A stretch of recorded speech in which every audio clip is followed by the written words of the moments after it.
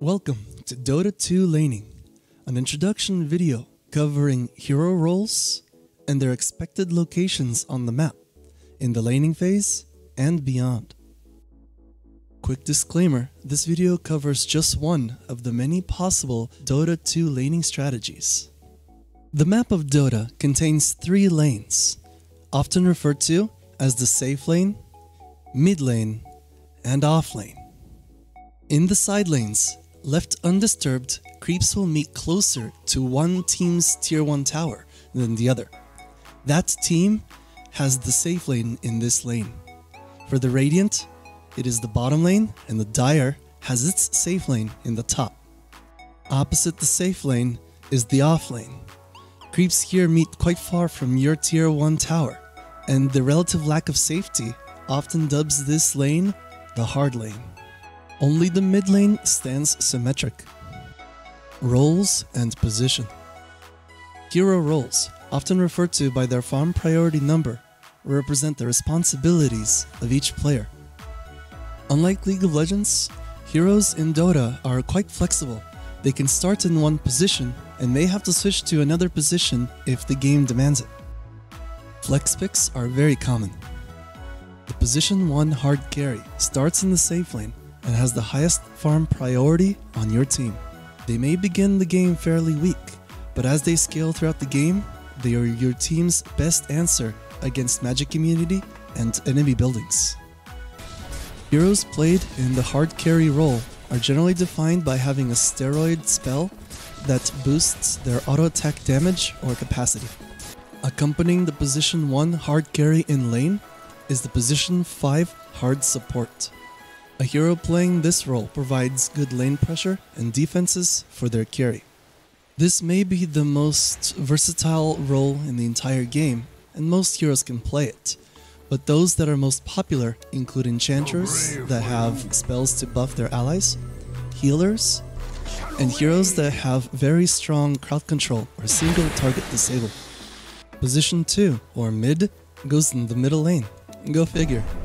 Mid heroes have good wave clear and early power spikes, and are expected to do most of your team's front-loaded damage. The position 3 off lane and the position 4 soft support often share the hard lane together. Both these heroes are lane bullies, often with most of their power coming in aggression early game. The tank should be the position 3 as they require some items to survive fights. Heroes played in the positions 3 and 4 also tend to have the strongest AoE initiation spells, such as AoE silences, massive stuns, crowd control of any sorts. Game start, laning phase. In the side lanes, two cores and two supports face off.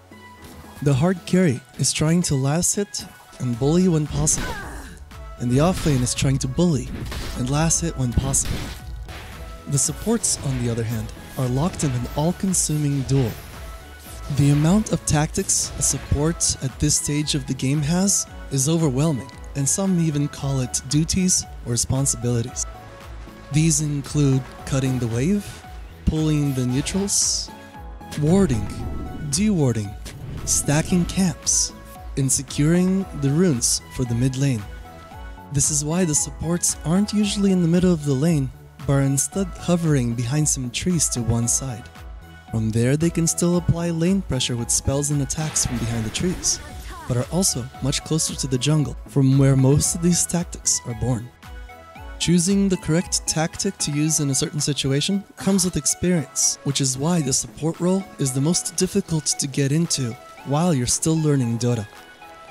There is a section at the end of this video focusing on some of these tactics and another on strategy around good warding. Laning for the core in the mid lane is a mix between what happens to the other two cores in his team. You are solely responsible to last hit and deny properly and zone your opponent as much as you can. This is the ideal creep position for the Radiant team. The Radiant range creep is dead and most of the creeps are on the ramp close to the Radiant tower. Minute 6 Power Rune Control. The first Power Rune of the game spawns at the 6 minute mark, and alongside it, a Bounty Rune spawns in the jungle. If the more dominant side lane can spare a support for a couple of minutes, that support should rush over to the mid lane before the rune spawns. The strength of the power rune can enable your mid to start ganking and getting your team some kills. Sometimes both supports from both teams will go and try and collect these power runes for the mid. And this is where you have the very first major clashes of your game. The mid at level 7. What happens next varies wildly game to game, but here's one common scenario. When a hero is level 7, one of their skills has the ability to be maxed out. It is around this time that the mid decides to leave the mid lane for most of the game and become a permanent roamer.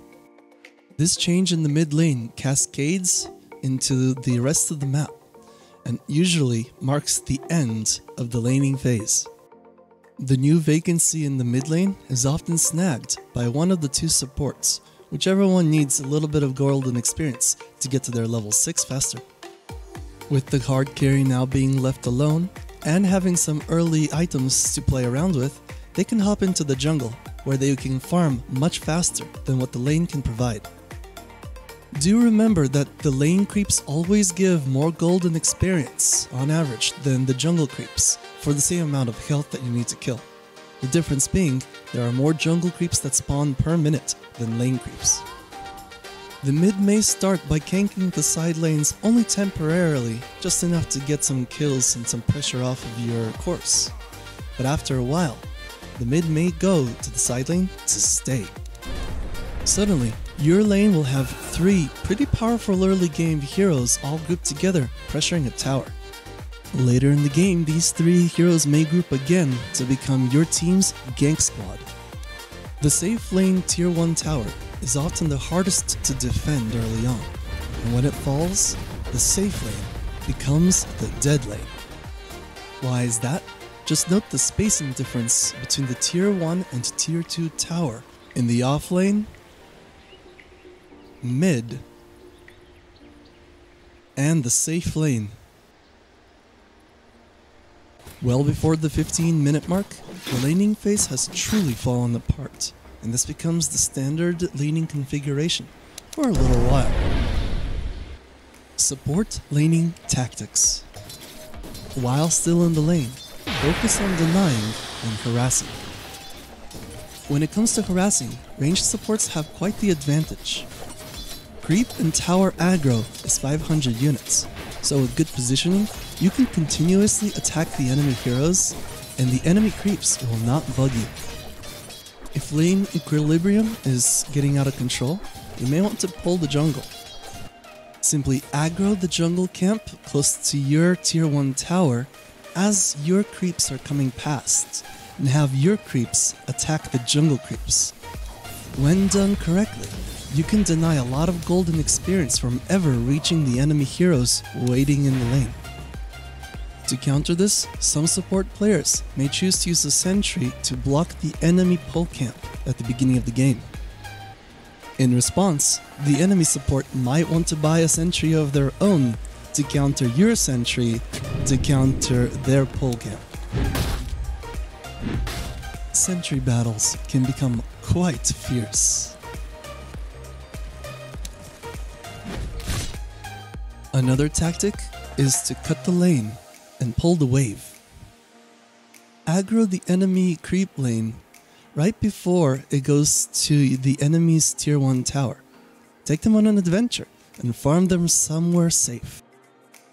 Warding Tactics These cliffs, also known as ice spots, are the most powerful locations to place observer wards and also the most easy to deward.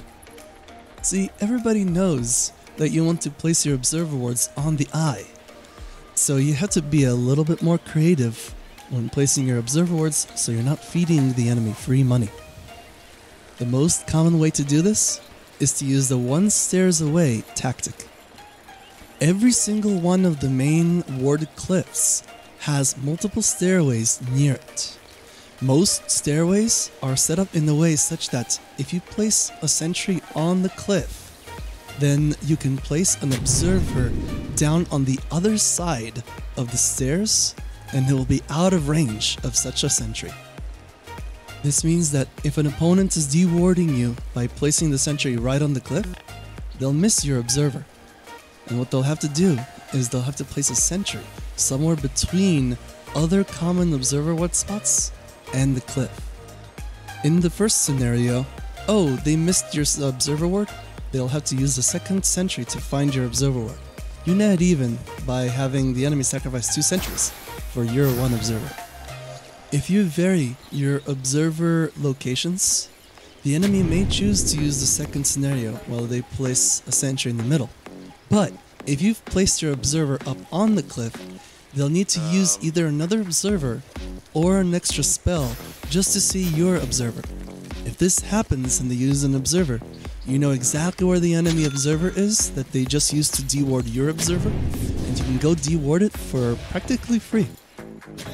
A general rule of thumb is never place an observer ward in the same spot twice if it was dewarded the first time around. Here are a few more sneaky warding locations for your observer ward.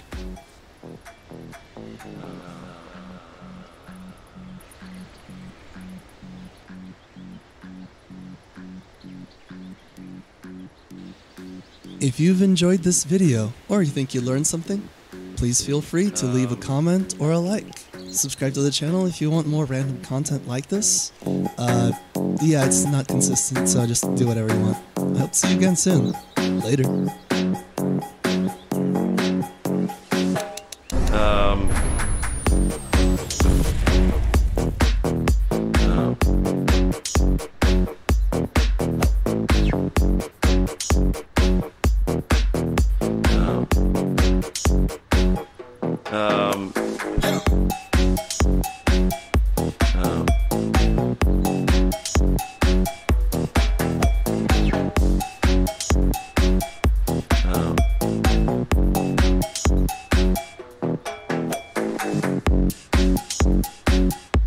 out.